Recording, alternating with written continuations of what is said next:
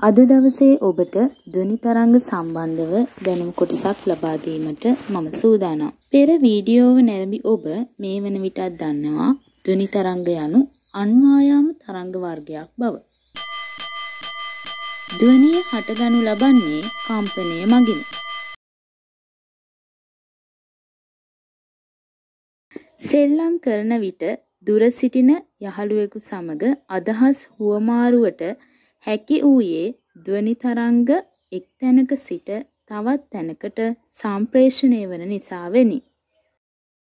සැබෑවටම ධ්වනි තරංගවලට වාතය හරහා ගමන් කළ හැකිද?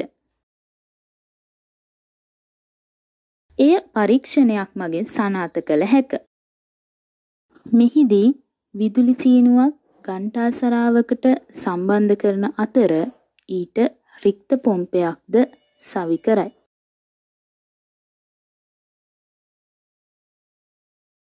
අනතුරුව විදුලි සීනුව ක්‍රියාත්මක කරයි.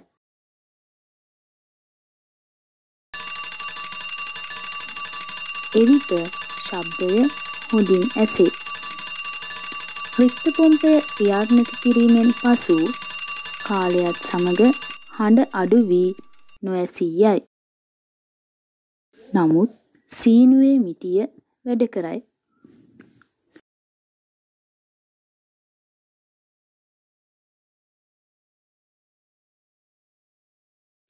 එසේනම් හඬ නොඇසීමට හේතුව කුමක්ද?